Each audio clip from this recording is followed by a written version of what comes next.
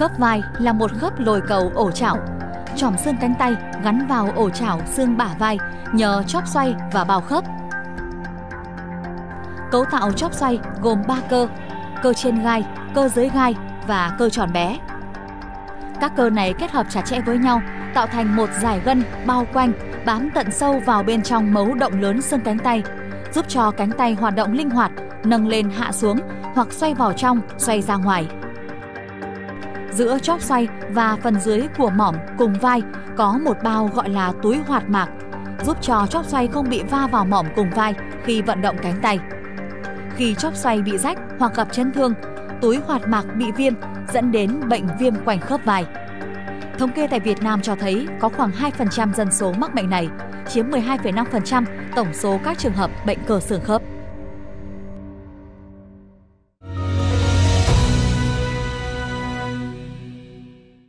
Thưa quý vị và các bạn, khởi phát với từng cơn đau âm ỉ ở vai, nếu không được điều trị triệt để, bệnh lý viêm quanh khớp vai sẽ ảnh hưởng đến vận động của hai tay cùng nhiều biến chứng nguy hiểm khác. Vậy dấu hiệu nhận biết bệnh là gì và phòng tránh như thế nào? Chúng ta sẽ cùng tìm hiểu trong chương trình Chuyện của bác sĩ ngày hôm nay với sự đồng hành của bác sĩ Nguyễn Xuân Thủy đến từ khoa lão khoa cơ xương khớp bệnh viện Bãi Cháy. Dạ vâng, xin chào bác sĩ. Vâng ạ, chào chị Hải Yến, chào quý vị khán giả. Dạ vâng thưa bác sĩ, chủ đề của chương trình ngày hôm nay là về bệnh lý viêm quanh khớp vai. Vậy thì bác sĩ có thể làm rõ viêm quanh khớp vai là gì và được chia thành các thể lâm sàng như thế nào ạ? Viêm quanh khớp vai là một thuật ngữ dùng chung để chỉ tình trạng viêm gân, viêm bao khớp, viêm hoạt dịch ở khớp vai. Tuy nhiên, viêm quanh khớp vai không dùng trong tình trạng là viêm khớp vai hoặc là viêm xương hoặc các tổn thương xương khác ở vùng khớp vai.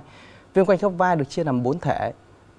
Đó là thể viêm gân đơn thuần, tức là chỉ tình trạng viêm gân vùng khớp vai đơn thuần Thứ hai đó là viêm khớp vai tinh thể, đó là tình trạng viêm khớp vai cấp tính do lắng động tinh thể canxi ở vùng gân của khớp vai. Thể thứ ba đó là thể viêm dính khớp vai, đó là tình trạng viêm dính sơ dính cái bao khớp vai làm cho khớp vai hạn chế vận động rất là nhiều, đặc biệt là tư thế dạng khớp vai hoặc là xoay ngoài cánh tay. Và thể cuối cùng là thể giả liệt, tức là bệnh nhân không đưa cánh tay lên được. Tuy nhiên các vận động ở khớp khuỷu cũng như cảm giác của cánh tay vẫn bình thường. Dạ vâng ạ, vậy thì ờ, những nguyên nhân nào dẫn đến viêm quanh khớp vai ạ? Nguyên nhân chính dẫn đến viêm quanh khớp vai là tình trạng thoái hóa các gân, cơ hoặc là bao khớp vùng khớp vai. Tuy nhiên một số yếu tố nguy cơ có thể làm cho chúng ta dễ bị viêm quanh khớp vai hơn như là mắc bệnh đái tháo đường. Theo nghiên cứu thì ở dân số chung thì thì khoảng 3% bệnh nhân có viêm quanh khớp vai. Tuy nhiên ở những nhóm bệnh nhân có đái tháo đường thì tới 20% bệnh nhân sẽ có viêm quanh khớp vai. Thứ hai đó là những người mà chơi các môn thể thao phải đưa tay qua đầu như là chơi cầu lông hoặc là làm nghề nghiệp phải đưa tay qua đầu như là thợ sơn, thợ mộc sẽ làm tăng nguy cơ viêm quanh khớp vai hoặc là những bệnh nhân mà có kéo giật đột ngột cái vùng cánh tay dẫn đến các tổn thương gân vùng khớp vai thì dễ bị viêm quanh khớp vai hơn. Thứ ba đó là các chấn thương do tai nạn sinh hoạt hoặc tai nạn giao thông hoặc là bệnh nhân kéo giật quá đột ngột vùng khớp vai. Và thứ tư đó là những bệnh nhân có phẫu thuật ở khớp vai cần phải cố định khớp vai lâu ngày hoặc là những bệnh nhân mà bị tai biến mạch máu não cũng làm tăng nguy cơ bị viêm quanh khớp vai. À, như bác sĩ vừa chia sẻ thì có rất nhiều nguyên nhân dẫn đến viêm quanh khớp vai như là thoái hóa, chấn thương, các bệnh lý tim mạch, thần kinh. Vậy thì ờ, người bị viêm quanh khớp vai thường có những triệu chứng như thế nào ạ? Triệu chứng của viêm quanh khớp vai đầu tiên là triệu chứng đau. Bệnh nhân dù thể nào chăng nữa thì triệu chứng đau luôn luôn hiện diện và nó tùy vào cái mức độ cũng như là thời gian hiện diện đó chúng ta chia thành các thể khác nhau đó là thể viêm quanh khớp vai thể đơn thuần. Thì bệnh nhân chủ yếu là có triệu chứng đau và không hạn chế vận động. Bệnh nhân vẫn có thể đưa tay lên qua đầu được, gãi lưng ở phía sau và không hạn chế các động tác của khớp vai. Tuy nhiên, viêm quanh khớp vai thể, tinh thể thì à, bệnh nhân có viêm đau đột ngột vùng khớp vai, xương nóng rất là dữ dội. Tuy nhiên, không có một yếu tố chấn thương nào cả. Thể thứ ba đó là thể viêm dính khớp vai thì bệnh nhân hạn chế rất nhiều vận động của khớp vai. Bệnh nhân không thể nào dạng khớp vai ra được hoặc là không đưa xoay ngoài cánh tay được. Thể thứ tư là thể giả liệt, tức là bệnh nhân đã có đau âm ỉ vùng khớp vai trước đó vài ngày hoặc là vài tuần. Thậm chí đó là sau khi mà có tai nạn sinh hoạt, tai nạn uh, giao thông, bệnh nhân không đưa cánh tay lên được. Tuy nhiên, triệu chứng uh, chỉ xuất hiện ở khớp vai mà các vận động khớp khỉu hoặc là cảm giác bàn ngón tay, bệnh nhân vẫn bình thường. À, dạ vâng, trên thực tế thì các triệu chứng này có thể dễ nhầm lẫn với các bệnh cơ xương khớp khác. À, vậy thì trong trường hợp này, phương pháp chẩn đoán phân biệt là gì ạ? Để chẩn đoán viêm quanh khớp vai thì ờ, chúng ta cần phải khám lâm sàng của bệnh nhân, thực hiện các xét nghiệm, đặc biệt là các xét nghiệm về viêm. Tại vì trong viêm quanh khớp vai đơn thuần thì xét nghiệm viêm sẽ là âm tính.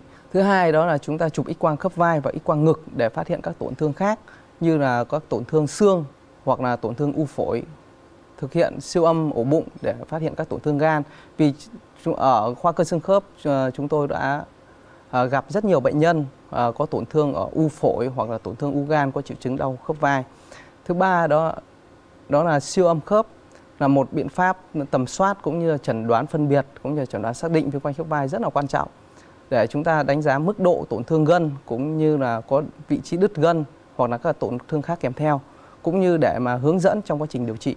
Thứ tư là chụp cộng hưởng từ khớp vai. Nếu mà quá trình siêu âm chúng tôi nghi ngờ hoặc là siêu âm chưa rõ thì chúng tôi có thể thực hiện chụp cộng hưởng từ khớp vai. Tuy nhiên, cộng hưởng từ khớp vai là chụp cộng hưởng từ có tiêm thuốc đối quan từ nội khớp để nó bộc lộ các gân cơ vùng khớp vai tốt hơn.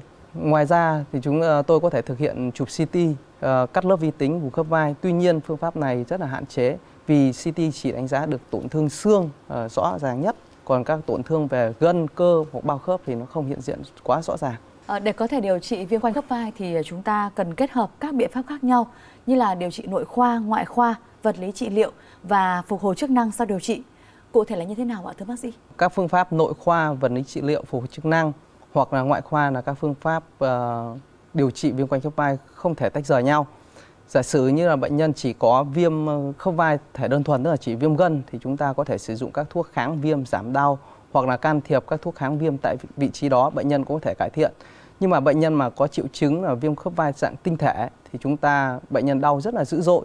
Khi đó chúng ta cũng phải sử dụng các thuốc kháng viêm giảm đau và nếu mà bệnh nhân đỡ đau rồi chúng ta cần phải tập phục hồi chức năng hoặc là kết hợp các ờ, vật lý trị liệu thậm chí là kết hợp thêm đông y nữa. Những bệnh nhân mà viêm dính khớp vai thì vai trò của nội khoa đấy, bị giảm đi khá là nhiều. Chúng ta chỉ, chỉ sử dụng các thuốc kháng viêm giảm đau cho bệnh nhân đỡ đau. Và vai trò của phục hồi chức năng khi này đóng vai trò cực kỳ quan trọng để bệnh nhân lấy lại được tầm vận động. Còn ờ, thể giả liệt tức là thể đứt các gân vùng khớp vai khi này vai trò của ngoại khoa là chủ yếu. Ngoại khoa có thể đó là khâu các cái gân cố định các gân trở lại cho bệnh nhân. Sau đó nội khoa và phù chức năng khi này sẽ góp phần vào để điều trị cho bệnh nhân. À, vâng thưa bác sĩ, để giảm tác động áp lực lên khớp vai, góp phần ngăn chặn viêm quanh khớp vai thì người bệnh cần lưu ý những gì ạ? Trong nguyên nhân của viêm quanh khớp vai chủ yếu là nguyên nhân thoái hóa, nên chúng ta không thể tránh hoàn toàn được cái tình trạng viêm quanh khớp vai, nhưng chúng ta có thể giảm các yếu tố nguy cơ đi bằng cách đó là tránh làm việc quá nặng nề vào khớp vai hoặc là thực hiện quá lâu cái động tác đó và chúng ta hãy để khớp vai nghỉ ngơi sau một thời gian làm việc. Thứ hai đó là tránh co giật quá đột ngột vùng khớp vai cũng như là việc ờ, điều trị chẩn đoán viêm quanh khớp vai một cách sớm nhất khi xuất hiện triệu chứng đau vùng khớp vai. Dạ vâng, xin cảm ơn bác sĩ với những thông tin vừa chia sẻ.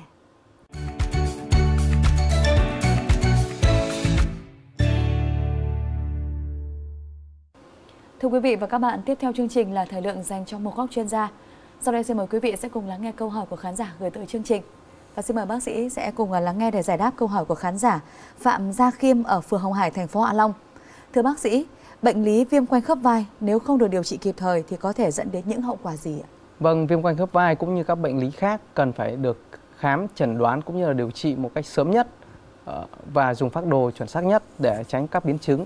Như viêm quanh khớp vai chúng ta có các thể khác nhau và có thể liên kết giữa các thể đấy với nhau như viêm quanh khớp vai thể đơn thuần. Nếu mà chúng ta không điều trị sớm có thể dẫn đến là viêm dính khớp vai hoặc là viêm khớp vai thể giả liệt tức là đứt các gân vùng khớp vai. Từ đó bệnh nhân sẽ hạn chế hoàn toàn vận động của khớp vai và dẫn đến teo cơ vùng khớp vai và hậu quả có thể liệt vùng khớp vai. À, câu hỏi tiếp theo. Bệnh lý viêm quanh khớp vai có thể điều trị khỏi hoàn toàn hay không? Đây là câu hỏi của khán giả Nguyễn Minh Nguyệt ở thị trấn Tiên Yên huyện Tiên Yên. Vâng, viêm quanh khớp vai phần lớn là nguyên nhân thoái hóa hoặc các yếu tố nguy cơ khác kèm theo. Tuy nhiên, viêm quanh khớp vai nếu được chẩn đoán sớm, điều trị đúng thể lâm sàng và điều trị cả yếu tố nguy cơ khác thì viêm quanh khớp vai hoàn toàn thể điều trị khỏi. Như là viêm gân thì chúng ta có thể sử dụng các thuốc kháng viêm giảm đau và thậm chí chúng ta có thể tiêm huyết tương diệt tiểu cầu hoặc là collagen vào vùng khớp vai. Thể giả liệt tức là đứt gân vùng khớp vai chúng ta hoàn toàn có thể nhờ các bác sĩ ngoại khoa khâu cái vùng gân bị tổn thương lại và sau đó chúng ta tập phục chức năng thì khớp vai hoàn toàn có thể lấy lại được tầm vận động của khớp vai bình thường. Thưa quý vị và các bạn, để bảo vệ sức khỏe cũng như phòng ngừa viêm quanh khớp vai, quý vị và các bạn nên hạn chế vận động mạnh, xây dựng một chế độ dinh dưỡng hợp lý, bổ sung đầy đủ dưỡng chất cho cơ thể. Đặc biệt hãy thường xuyên tập luyện thể dục thể thao mỗi ngày để sức khỏe được dẻo dai. Không tự ý sử dụng thuốc khi có triệu chứng của viêm quanh khớp vai mà hãy đến các cơ sở y tế để được chẩn đoán và điều trị tốt nhất. Quý vị và các bạn có thể xem lại chương trình và đặt câu hỏi tư vấn tại fanpage Sức khỏe Quảng Ninh và địa chỉ email chuyện của bác sĩ.qmg@gmail.com để được các bác sĩ của chương trình tư vấn và giải đáp. Tới đây thì thời lượng của chương trình Chuyện của bác sĩ kỳ này cũng đã hết. Một lần nữa xin cảm ơn bác sĩ Nguyễn Xuân Thủy đã tham gia chương trình và chia sẻ rất nhiều thông tin hữu ích. Cảm ơn quý vị khán giả đã quan tâm theo dõi. Xin kính chào và hẹn gặp lại.